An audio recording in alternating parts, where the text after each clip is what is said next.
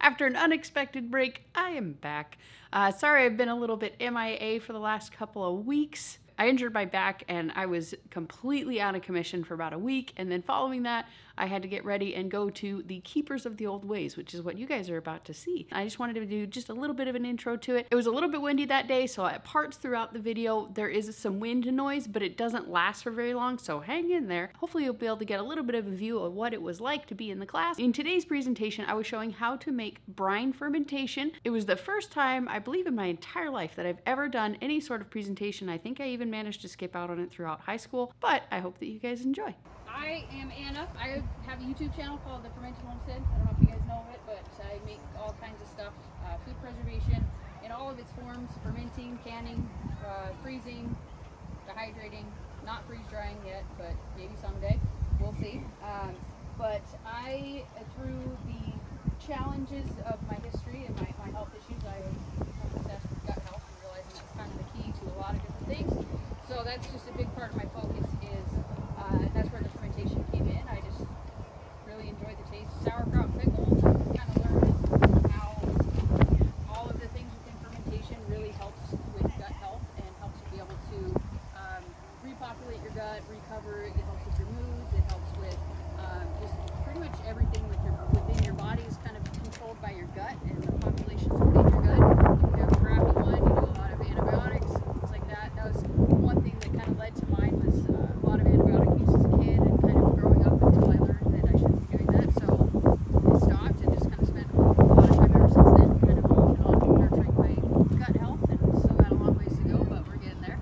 And um, you know, like I said, it, it kind of it came out of a need for improving my health. And so I just spent a lot of time on Google and learned a lot of stuff. I'm not trained. I'm not anything. I just know the things that I know. I'm just a geek with Google and I love to learn and I really enjoy sharing it with people. So take everything I say with a grain of salt. you know, do your own research. It's really it once once you kind of know what you're looking for and what you can do. I should ask. Can everybody hear me okay? Am I loud enough? I can go louder, but I don't want to blast you guys out, and I want to be able to talk at the end. So, uh, but I just want to make sure. But um, also another thing I'd like to note is I have ADHD and I have a lot of squirrels. So if I forget a sentence that you're hanging on every word of, and I just move to another one, feel free to be like, hey, can you finish that sentence? And I'll try to remember what the heck it was. Um, but uh, I have notes just in case I lose track of everything. Um, so I asked just a minute ago, I think we had a couple more people that came in, but anybody uh, that wasn't here earlier that has ever fermented before? I we had like three. So this is super awesome um, because fermentation is, it's a whole new world. Like, like we're not talking Aladdin here, but you know, like it's, it's, it's like especially within the last few years, like germs are like the most terrible thing in the existence of the world. We have to wipe everything out with, you know, bleach and whatever we can possibly find that's going to kill everything. But the thing that most people aren't told, aren't aware of, is that it kills the good and the bad. And if you leave things in like just this, I mean, within reason, this natural world, it's the good almost always, if it's given the right conditions, will overcome and take over the bad stuff. So like that's what fermentation is. We're giving it the perfect environment for all the good stuff to survive and to kind of take over. And we it turns the when you okay when you put the water into the jar, you cover everything up and you submerge it underneath the water. It becomes an airless environment, which the good bacteria enjoy. And then you add the salt in there. The bad bacteria can't survive in the salt in the salty environment. And so you're just creating this perfect environment for the good guys to take over before the bad guys have a chance to get caught up. And so they just can't do anything. Like it's just, it becomes like the perfect environment. And I know that food safety is often something that a lot of people who haven't fermented before are very concerned with. They they're like, I'm gonna get botulism. Like that's the number one thing I hear. It's either I tried fermenting and my pickles sucked, it's always pickles, or I'm gonna get botulism.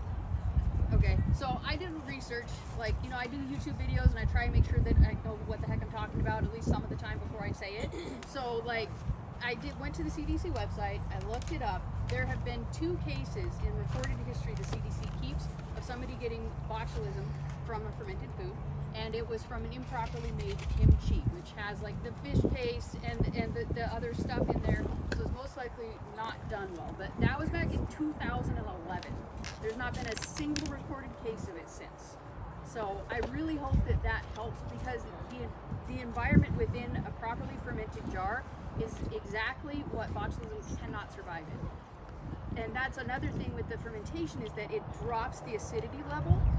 Um, if, if, you guys don't know, the acidity, there's a scale. It runs from zero, which is like the most like metal melting acid on the existence of the earth, which is zero, and it goes up to 14.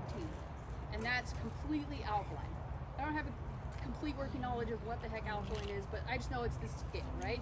And seven is in the middle. It's neutral. It's what most proper water is, you know, like there's debate on that, but whatever. Seven is right smack dab in the middle. It's not acidic and it's not alkaline. When you go below 4.6, so from zero to 4.6, well, you want to call it 4.5, just to below 4.6, the botulism, E. coli, Salmonella, H. pylori, C. diff, all of those cannot survive inside of that jar.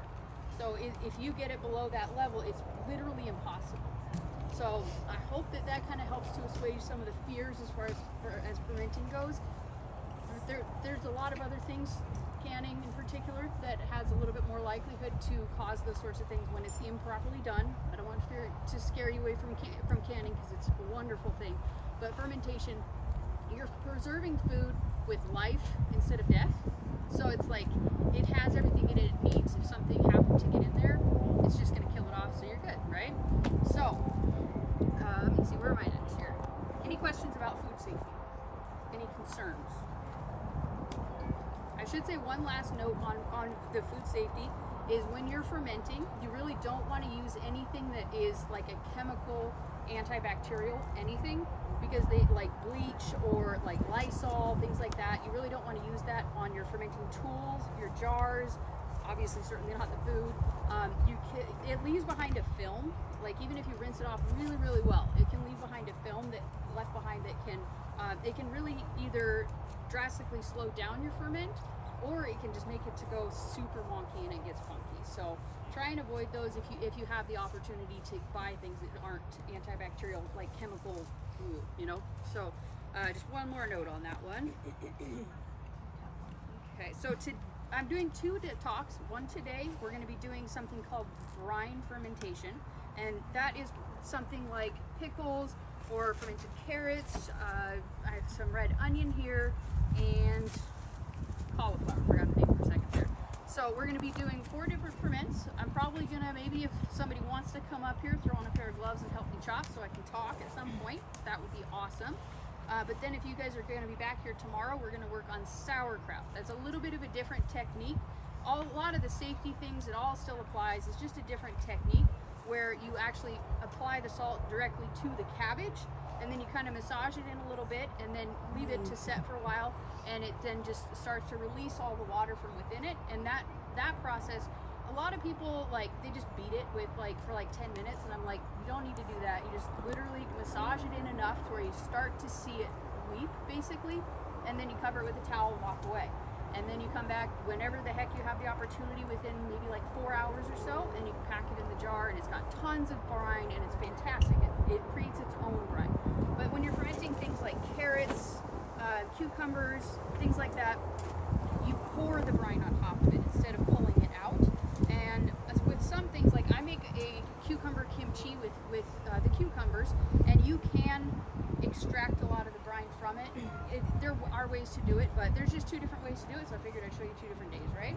So, um, let me see here. What is... And... Okay, so you had talked about mold earlier, and having mold on your stuff during the safety meeting, because that's one thing that a lot of people also can get kind of. There's, there's many different types of molds, but not everything that grows is mold. There's something called kahm yeast. It, I don't know how to spell it. It's K-A-H-M or K-H-A-M. I never remember how to spell it. And that is going to be, it's, a, it's like a film. It almost looks a little bit oily, a little bit chalky on top, and it's not furry. And that is, while not necessarily appealing, you can scrape it right off with zero issues. It is non-toxic completely. But if you do leave it to grow, it can kind of overtake the flavor of the jar. It'll get kind of funky and it's just not appealing at that point. But you can still eat it and you wouldn't die. I mean, you could eat any of it and you'd probably not die. But and then um, there's white mold that can grow. Um, that one is generally pretty safe to scrape off. Again, just Google, y'all do your own research. But I will almost always scrape off anything that is a white mold. I don't care. Um, it's not really anything in the fermenting world that is dangerous, so I don't worry about it. Green if it's like the tiniest little itty bitty fleck, like it just looks like a little piece of like, you know, oregano or something, I might scrape it off, but I might also toss it. Any other color is an instant pass. You got black mold, pink mold, purple, blue, whatever color of the rainbow you choose, it's a hard pass for me. Um, when you're fermenting things that have color, beets, um, sometimes carrots depending, but like some of the darker colored carrots especially, like they can change the color of the mold. So you just have to kind of use your own judgment on that one. Um, but generally speaking, if it's not white, I chuck it. Um, and you can tell the difference between kahm yeast and mold by the fur. If it's furry, do what you wish. If you have a mold sensitivity, I wouldn't I wouldn't mess with it, you know. Uh, but I don't have a mold sensitivity and I don't have any issues with it. I've done it for as long as I fermented and never had an issue. I'm still standing here. Um, but any other color, highly encourage people to just just pass it. Just just feed it to the chickens. The dogs might like it. They're probably not gonna have anything to do with it, but you never know. so, um, and I've also seen like I do a lot of I watch a lot of videos on this on the topic. I do a lot of research. I see you know videos, all sorts of things. And like there's old school people like they will literally have like a 55 gallon barrel of sauerkraut fermenting in the, their basement, and like their protection is a giant sheet of mold. They just let it grow. I, have never done that. I can't say I will ever get the courage to do that. I don't recommend anybody do it. But I'm just saying like it's not something that is that you have to fear. Like it's just something that you have to learn to work with and learn the, the conditions and the um, and the skills and everything to be able to do it. So um, proceed at your own risk, but just don't be fearful. It's all good. This is just nature's way of preserving food, you know? So, um, does anybody know why they want to ferment? Like, why is it, what's the curiosity behind it for people? It's healthy. Gut It's healthy, gut health, Long-term preservation. long-term preservation, For animal feed. animal feed. Absolutely, I love ferment my animal feed. It makes it last so much longer. It goes much further. You can feed them less. Definitely. And um, so the reason that, that it's so good for your health, we kind of covered briefly earlier, but it's the it's the microbes in there. It's the bacteria. It's the if anybody sitting in the sun wants to move into the shade, feel free. Y'all seem like you're kind of hot. I'm just like, We were out here yesterday, and this was all shaded, so I don't know what's going on. It was the exact, almost the exact same time. But feel free, y'all. Please, if we do have to head in or over there, maybe it's a little bit shadier. I'm perfectly willing to move. This was just where the tent was, so. Fermenting your food helps with gut health. Um, if, um, the main one is obviously the bacteria. Um, does anybody in here, anybody in here not know that bacteria is actually what digests most of the food that you consume? It's not your physical body. Isn't that crazy? Like you just have like a giant colony in there with like trillions and trillions of bacteria that just munch away on your food, and they turn it into something that your body can actually use. So if you if you're deficient, if you're doing antibiotics, a lot of medicines, a lot of you know just you know poor whatever, um, you can really damage your gut microbiome. That's what happened to me. I you know it didn't live the greatest life, and you know it, got- it caught up to me, and so I'm trying to fix it, and so gut health is one of the main ways that I'm able to, to kind of get that, get there and be able to achieve that. And then another reason that it's great, also digestively, is that it breaks down the food that you eat. Um, I have something called SIBO, it's small intestinal bacterial overgrowth, and it causes me to not be able to eat a lot of grains, beans, a lot of different vegetables. And um, it breaks down a lot of the things that are very gut challenging for me personally and a lot of people. And makes it so that it can just it, it just it, it doesn't it doesn't cause a lot of the side effects that you would get any other way. So when you ferment it it just it turns it into something just just epic food. It almost turns it into medicine you know like vegetables are great on their own but when you ferment them it like 100 x's all of the power behind it. And another benefit is it preserves it you know? And the great thing about it is it preserves it with something called lactic acid, and that's what's produced from the, the bacteria. There's a lot. There's an epic amount of bacteria that are on these these vegetables here. So like when we're fermenting carrots, we don't peel them. I don't even peel them even if they're not organic. These happen to be organic because that's what they had at Walmart, but you don't peel them because that is where all of the bacteria are. If you peel them off, have some left behind, you know, because you got your peeler and you're still touching it. Like there's still some bacteria there. So if you're really skeeved out, you can, you can do it. You can peel it. You roll one in. It'll just take a little bit longer and not be quite as active. You know, it'll just take a little while to catch up. Um, things like these got bacteria on there. You know, all these things have bacteria on them, and a mixture of good and bad, which is why we put it in the environment that is perfect for the good, and then the bad can't survive. Win-win. And the lactic acid is what preserves it for long term. It lowers the pH to a point that we can actually, um, it can be preserved, and it's it's safe in cold storage. We ferment it. We're going to take these vegetables. We're going to ferment them. We're to put them in the brine, and then they will ferment, rather. And that fermentation process is going to produce the lactic acid, and that's what preserves the food, right? So, um, I think we're probably ready to go ahead and start chopping up some of these ingredients so I can actually show you what I'm talking before I talk you guys' ears off. I do that a lot. Um, is there anybody out here who wants to chop up some vegetables? You want to go chop some vegetables? I got a nice pretty turquoise knife. I bought it at Walmart yesterday. Sweet. I got some gloves here for you, just so that we everybody feels perfectly safe to. Oh.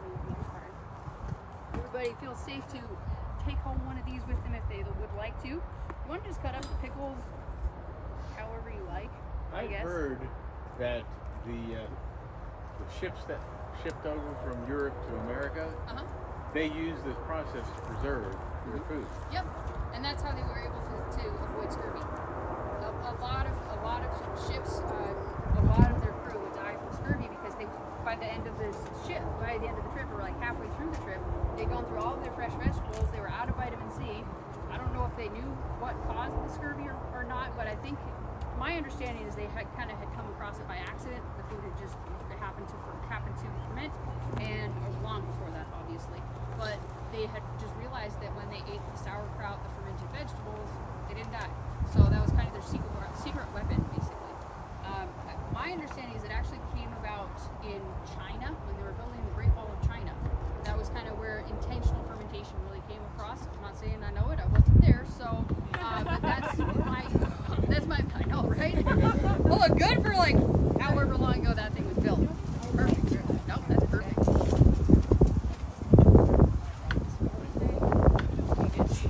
It's for tomorrow. Um, but yeah, they, they had basically were building the Great Wall of China. Everybody just threw all of their their stuff in a vat and it fermented, and everybody lived. So they kept doing it, you know. so, but yeah, it's it's it's really super duper interesting process.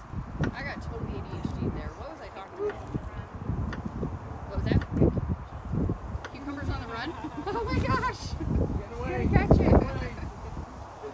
So, does anybody have any Just questions? blow it about- off his nose. I know, right? If it was for me, I would do it. I honestly don't care. Um, I know there's probably more good bacteria in that ground than I can speak of. But does anybody have any questions about what we were just talking about? I am wide open to anybody who is confused. I know most of you guys are beginners, so just make sure all your questions are answered. So I was always under the impression that fermented food is always sour. Is that true? Generally speaking, there are very few exceptions. I know that water kefir is not very sour. Um, you can, you can make things a little bit sweeter. You can ferment fruit and just ferment it for less time. Uh, the longer you ferment it, the more uh, acidity is going to form. So if you if you're really if you're I know a lot of people not a lot of people but there are people who really don't care for this sourness and if that is the case just start on the lower end and then kind of work yourself up and then your once you get your gut populated with the good bacteria they will start to crave it. Is it okay to salt it? Or leave it Absolutely, absolutely. We're, we're gonna add plenty of salt to these things. absolutely. The salt is a- is another thing that helps to preserve it because the bad bacteria can't survive in the salty the, the salty environment. So they number one either can't reproduce or they die off. And but the good stuff for, for whatever reason the good Lord decided they really like the salt and they just survive. survive. Uh, they survive in that environment and they thrive. And and then once they get populated enough, There's all different kinds of things that are just going to take over in that jar. So, um, not yet. We'll see how many jars we have. so, you want to pack these in there and I can chop you through it? Awesome. So, just load them in there as tightly as you can kind of get. Don't squish them in there, but kind of shimmy and shake it. Move it all around, and then it'll get it to settle within all the pockets. When we're loading it in these jars, you can use any vessel that you want to, except certain types of metal. You don't want to use aluminum, and the reason for that is the once the acidity drops, it will leach out the aluminum from it, and it turns it into something very, very dangerous and toxic.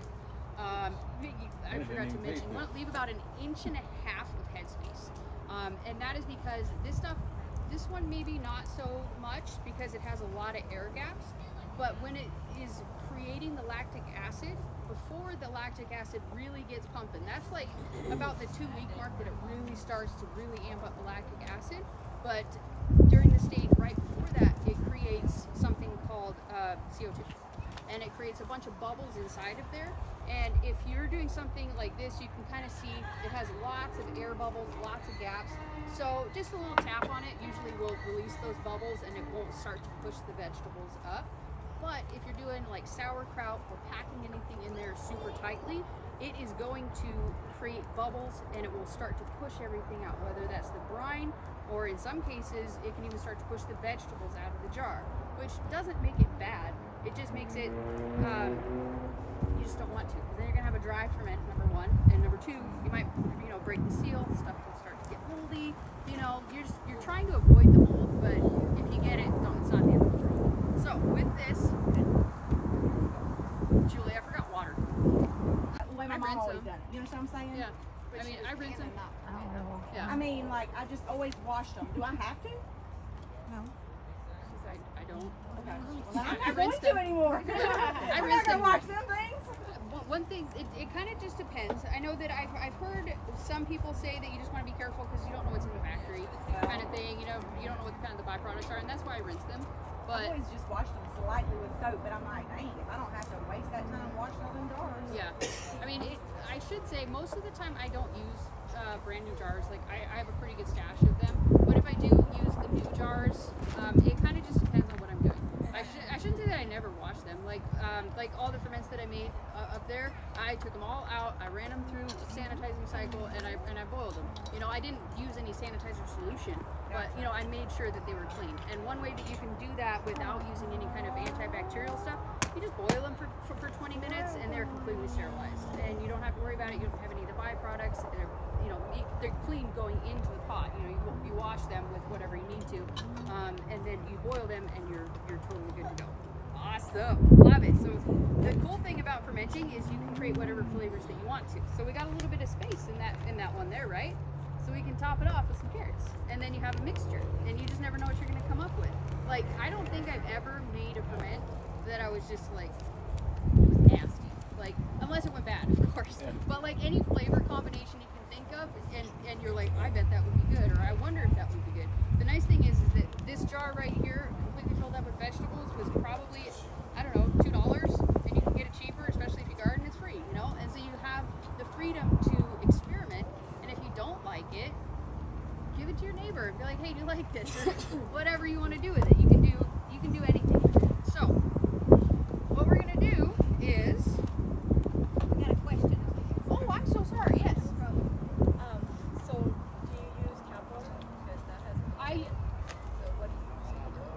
I have, I have well water. I don't think about these things. Normally you don't. Normally you don't. So these might have to be sacrifice jars.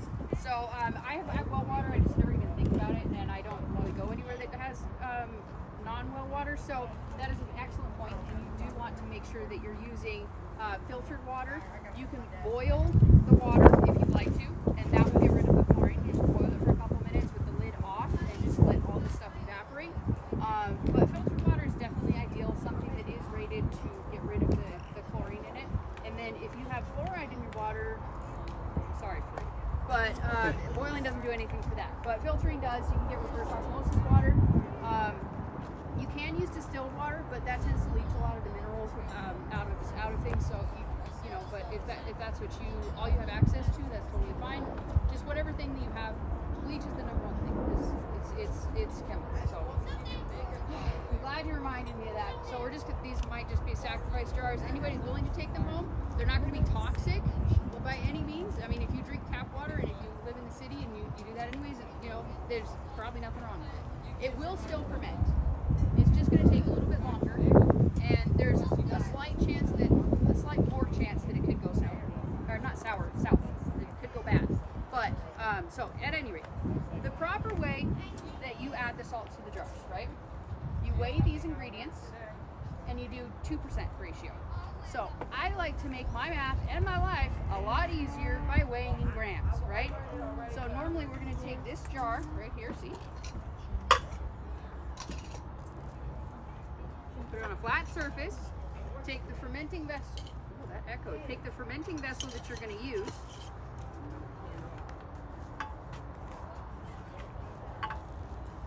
And you tare the scale.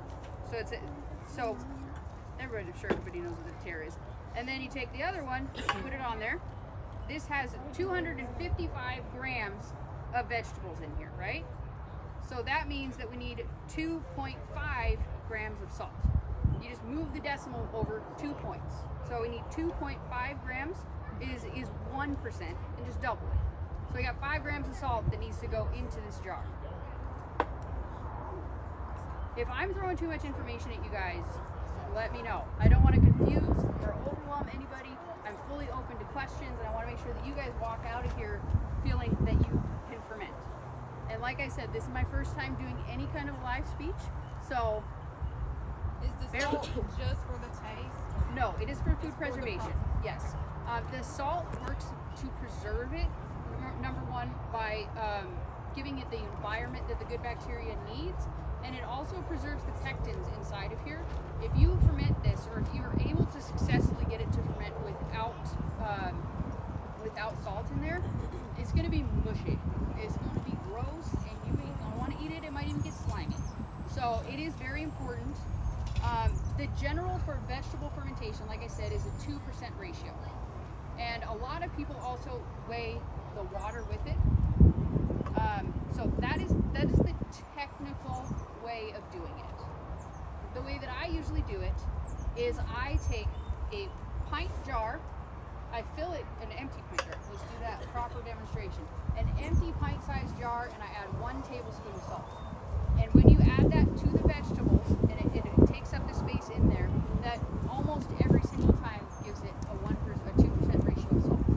And that is the easy way to bypass it. You don't need a scale, which I have, um, but I, but you do need a tablespoon measurement, which I don't have. So we're gonna weigh today. So.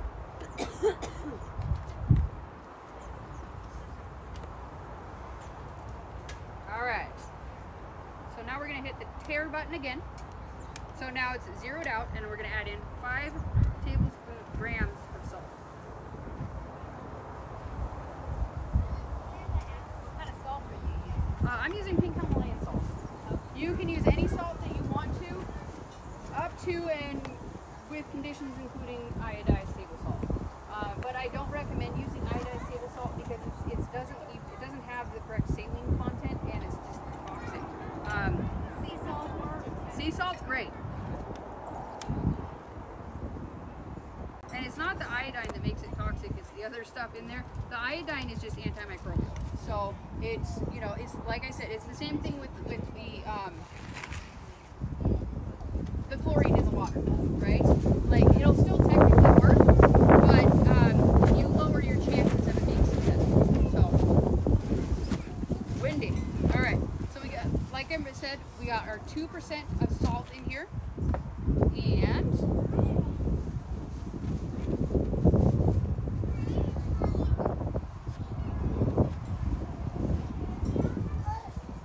fill it up to about there, and just give it a shake. Um,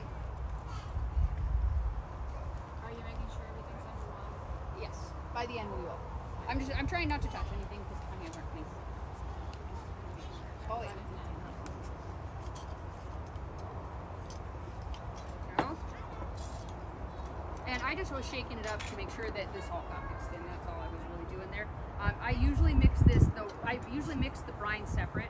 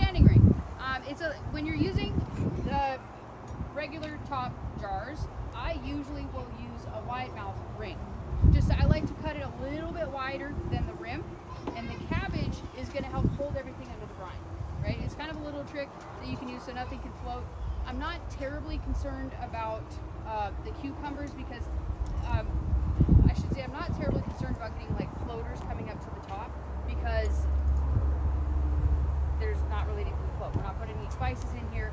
You know, it's not like green beans or something like that that have a lot of the little specks that can kind of evade this uh, uh, cabbage. So we're pretty golden. So if you want to take this, just right on the edge there, and just trace just ever so slightly, maybe a quarter of an inch wider. Yeah. Don't slice anything but the cabbage. Wider.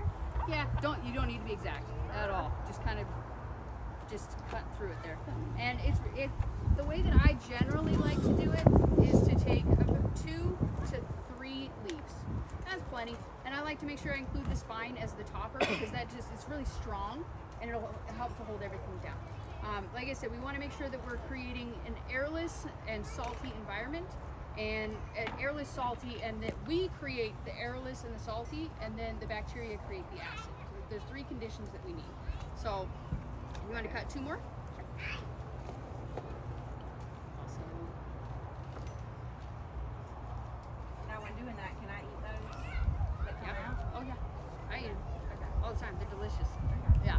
And like a lot of the different things that you're that you want to put put in there, like you put like onions, garlic, ginger goes really well with carrot ferment. It's so delicious. Just be careful. Ginger will take over the jar so fast. You know, I, like it is. It's insane. So you put the smallest amount of fresh ginger in there. Just gives it like a nice little zing, but it won't overwhelm everything. So hopefully that helps. Okay. So what are you gonna do? I don't know. I didn't think of that earlier.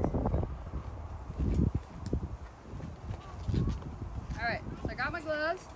And we have our jar here. Hopefully everybody can see. I don't know. Whatever. And then you just take the cabbage, whatever kind of cabbage you got. This more nap cabbage. You can substitute any leaf vegetable. Really, uh, I wouldn't do lettuce, but you know you could use uh, collards. You could use kale. Um, you just have to remember that if you use a little bit more of the sulfury vegetables, it can alter the flavor a little bit. Cabbage, I find, doesn't alter the flavor at all. And an onion peel. Oftentimes, I use an onion peel because it just adds to the flavor and it's fantastic. I just cut the onion. You know, I'll just uh, like cut the onion this way, and then you have a nice little sheet of onion. You can just use it as a great topper, and it, and it adds the flavor too. So you just take the cabbage leaf here, and you put it around everything inside of the jar. And that is one of the nice things about using the regular uh, mouth jars is you have this little shoulder that helps to keep everything under.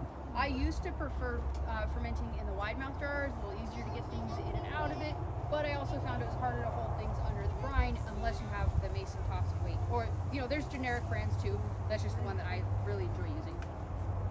So I just like to put three of them on there just for extra protection. You can absolutely get by with just one. That's all you got. Don't even stress it. Um, there's one thing that you'll find about me is that I am just I I hate overthinking things, and sometimes it can get me in trouble. But um, oftentimes I find a lot of really cool stuff through it. You know, because it's like I try to just be like, um, maybe it'll work. Find out.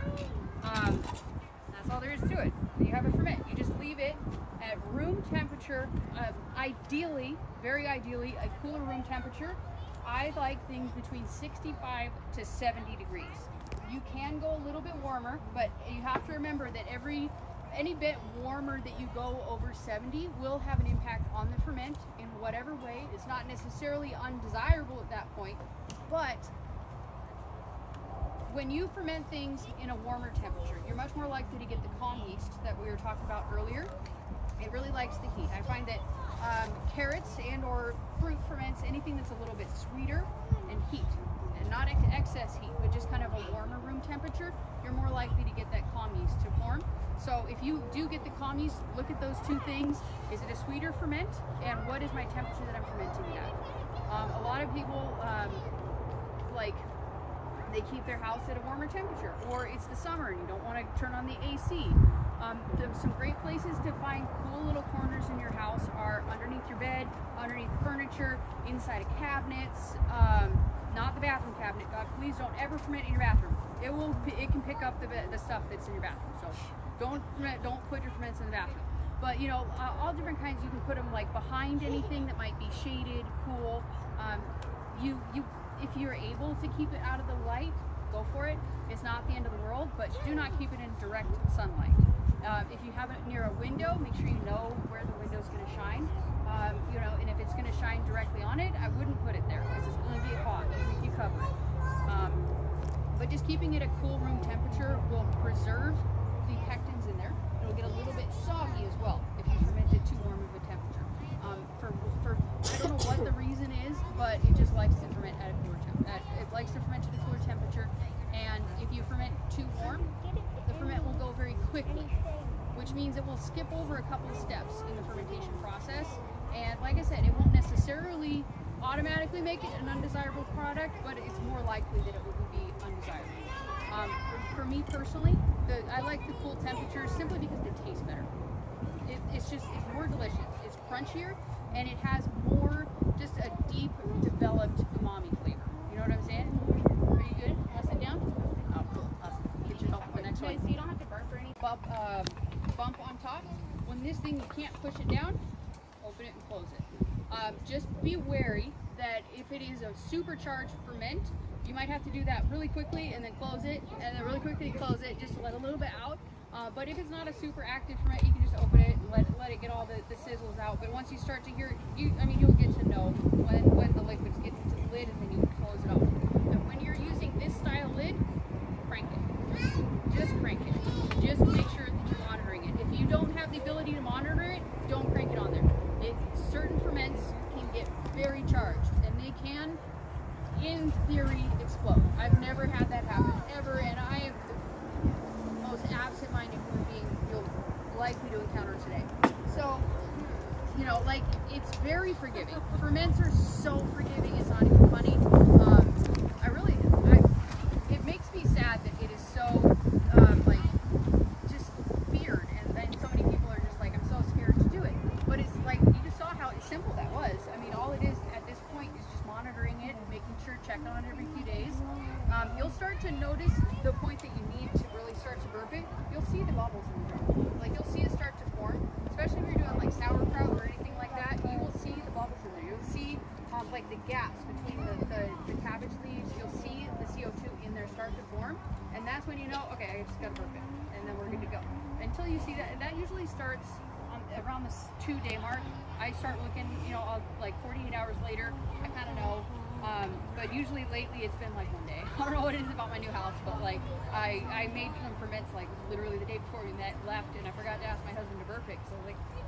And he texts me, he's like, those lids are really bulging. I'm like, oh crap, can you, can you burp them? So like one day, it can take, you know, everything varies. It varies depending on the season, you know?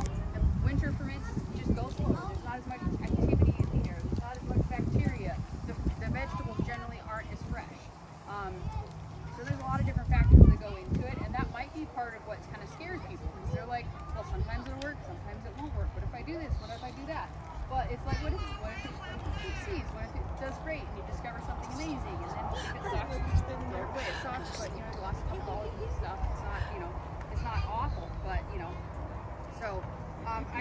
actually um, it, it, depends on your taste, honestly.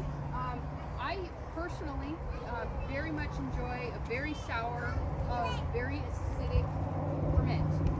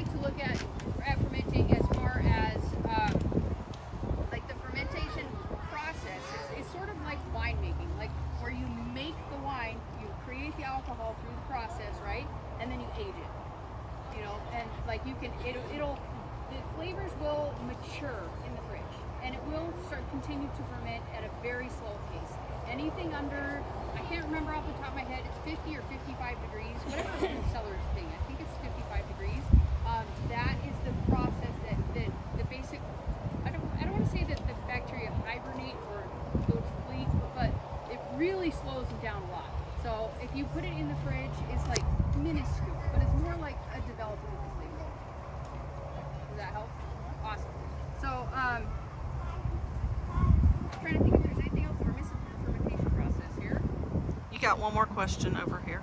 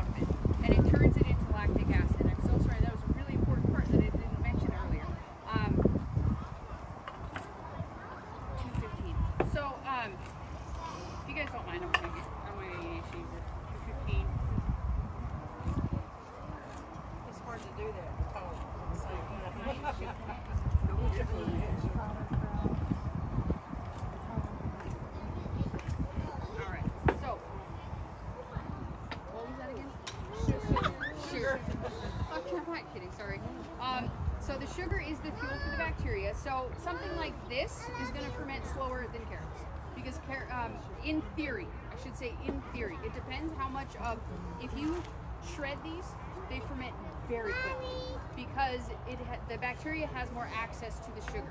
Whereas if we're cutting them in these, like this is a, the four weakness, but if you ferment them in, in these sizes, it's going to take longer.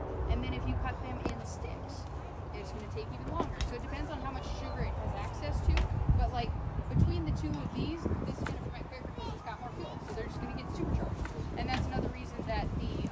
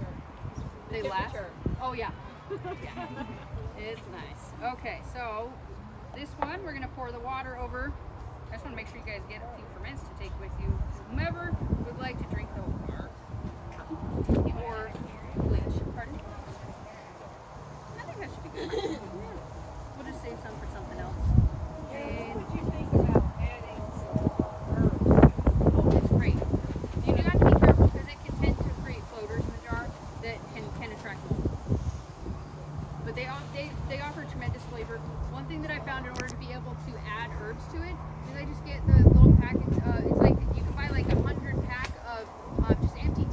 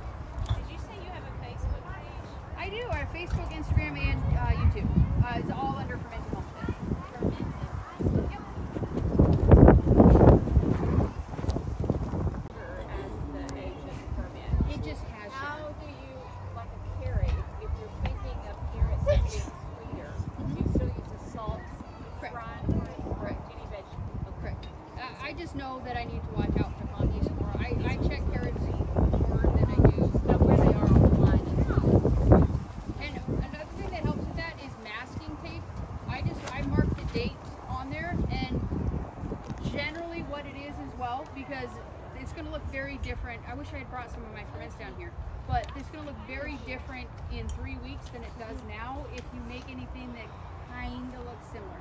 Obviously, you're not going to mix these two up. You know, that's pretty obvious, but just make sure to write the date on it so you know when to check it, you know uh, kind of what stage of the process it's in, you know a lot of information from the date, basically. Um, ooh think this one's like already off there on the bottom there. Awesome. Um, any more questions just yet? I think we got about 15 minutes have, left. I'm going to ask all the questions. Oh, please. Do you have certain things that are your favorites? Sauerkraut. Okay. Do you have certain things you like to put together, or do you keep things?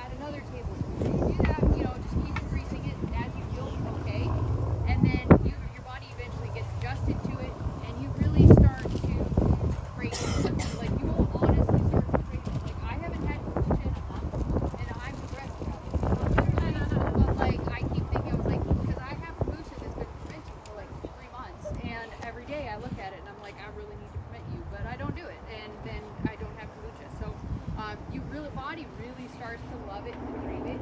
If you love pickles, you will love, or if you love any kind of pickle acidic type flavors, you will automatically, I'm sure, love this stuff because it's very similar. It's a less sweet taste, but it's very similar. Um, and if you don't like